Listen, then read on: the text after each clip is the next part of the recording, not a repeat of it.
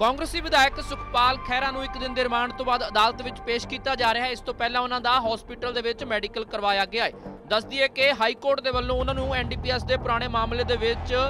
ਜ਼ਮਾਨਤ ਦਿੱਤੀ ਗਈ ਸੀ, ਪਰ ਸੁਭਾਨਪੁਰ ਥਾਣੇ ਦੇ ਵਿੱਚ ਇੱਕ ਔਰਤ ਦੀ ਸ਼ਿਕਾਇਤ ਤੇ ਉਹਨਾਂ ਖਿਲਾਫ ਮਾਮਲਾ ਦਰਜ ਕੀਤਾ ਗਿਆ ਸੀ, ਜਿਸ ਤੋਂ ਬਾਅਦ ਅਦਾਲਤ ਨੇ ਉਹਨਾਂ ਦਾ ਪ੍ਰੋਡਕਸ਼ਨ ਵਾਰੰਟ ਜਾਰੀ ਕੀਤਾ ਸੀ। ਤਾਂ ਕਪੂਰਥਲਾ ਦੇ ਪੁਲੱਤ ਤੋਂ ਕਾਂਗਰਸੀ ਵਿਧਾਇਕ ਨੇ ਸੁਖਪਾਲ ਸਿੰਘ ਖਹਿਰਾ ਜਿਨ੍ਹਾਂ ਨੂੰ ਅਦਾਲਤ ਵਿੱਚ ਪੇਸ਼ ਕੀਤਾ ਜਾ ਰਿਹਾ ਹੈ। ਕਪੂਰਥਲਾ ਦੇ ਥਾਣਾ ਸੁਹਾਨਪੁਰ ਦੇ ਵਿੱਚ ਉਹਨਾਂ ਦੇ ਖਿਲਾਫ ਧਾਰਾ 195 ਏ ਅਤੇ 506 ਆਈਪੀਸੀ ਦੇ ਤਹਿਤ ਮਾਮਲਾ ਦਰਜ ਕੀਤਾ ਗਿਆ ਸੀ, ਜਿਸ ਤੋਂ ਬਾਅਦ ਅਦਾਲਤ ਵਿੱਚ ਪੇਸ਼ ਕਰਕੇ ਪੁਲਿਸ ਨੇ ਉਹਨਾਂ ਦਾ ਇੱਕ ਦਿਨ ਦਾ ਰਿਮਾਂਡ ਹਾਸਲ ਕੀਤਾ ਸੀ ਤੇ ਹੁਣ ਮੁੜ ਤੋਂ ਇੱਕ ਦਿਨ ਦੇ ਰਿਮਾਂਡ ਤੋਂ ਬਾਅਦ ਅਦਾਲਤ ਵਿੱਚ ਮੁੜ ਤੋਂ ਪੇਸ਼ ਕੀਤਾ ਜਾ ਰਿਹਾ ਹੈ। ਦੱਸ ਦਈਏ ਕਿ ਐਨਡੀਪੀਐਸ ਦੇ ਪੁਰਾਣੇ ਮਾਮਲੇ ਦੇ ਵਿੱਚ ਪੰਜਾਬ ਹਰਿਆਣਾ ਹਾਈ ਕੋਰਟ ਦੇ ਵੱਲੋਂ ਸੁਖਪਾਲ ਖਹਿਰਾ ਨੂੰ ਜ਼ਮਾਨਤ ਦੇ ਦਿੱਤੀ ਗਈ ਸੀ, ਪਰ ਦੂਜੇ ਪਾਸੇ ਸੁਭਾਨਪੁਰ ਦੇ ਵਿੱਚ ਇੱਕ ਔਰਤ ਰਣਜੀਤ ਕੌਰ ਦੀ ਸ਼ਿਕਾਇਤ ਤੋਂ ਬਾਅਦ ਧਾਰਾ 195 ਏ ਅਤੇ 506 ਆਈਪੀਸੀ ਦੇ ਤਹਿਤ ਸੁਖਪਾਲ ਖਹਿਰਾ ਖਿਲਾਫ ਐਫ ਆਈ ਆਰ ਦਰਜ ਕਰ ਲਈ ਗਈ ਸੀ, ਜਿਸ ਤੋਂ ਬਾਅਦ